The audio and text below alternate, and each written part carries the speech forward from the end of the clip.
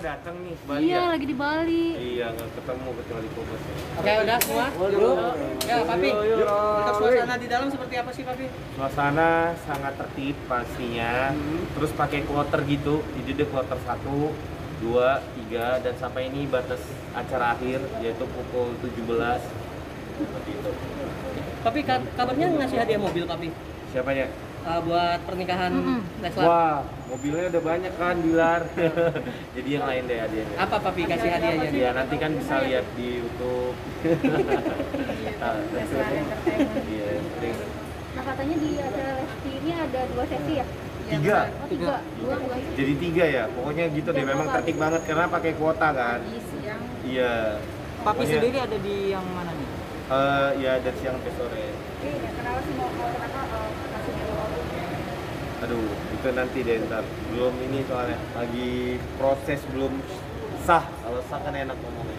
Tapi ngelihat eh, dari pakaian yang dipakai Dede Lesti sama Bilar dari tadi pagi sampai sekarang gimana menanggapinya? Pakaiannya adat juga ada ya, ada terus fashionable juga, iya elegan juga gitu.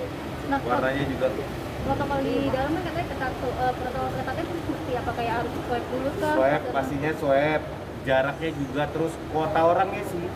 Seperti Moreno asisten dan sebagainya itu nggak bisa masuk kalau memang di dalam itu udah itu. Terus nggak terlalu banyak meja dan kursi gitu.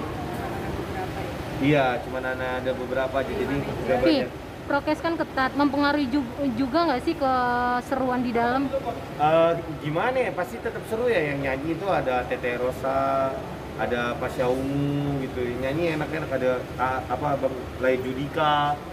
Jadi enak lah gitu suara itunya juga enak. Jadi beneran enak banget. Tetap terlihat elegan suasananya di dalam. tetap tetap elegan.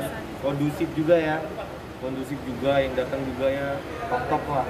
Momen yang paling mengharukan di rentetan acara itu apa? Bilar nangis.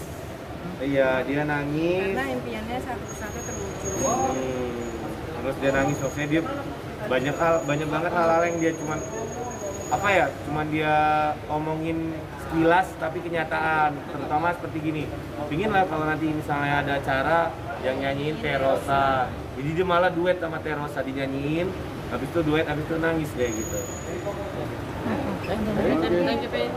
Doanya doanya. Informasi sudah hamil waduh aku nggak tahu. Nanti eh, dari pihak ininya aja nih gimana nya Ya, thank you, Pi. Ya, semuanya makasih banyak ya. Mohon maaf kalau ada yang kurang ya. Terima kasih.